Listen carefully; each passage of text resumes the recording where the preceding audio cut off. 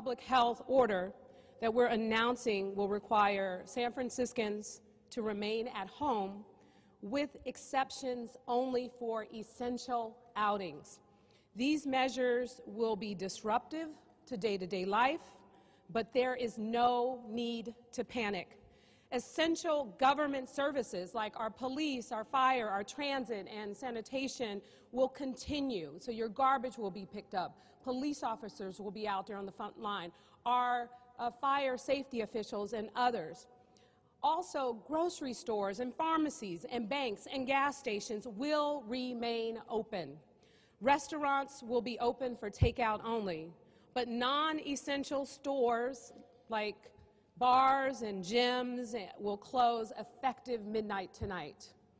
So, my fellow San Franciscans, what we are asking for everyone to do is to remain at home for all but the most essential outings for your safety and the safety of those around you.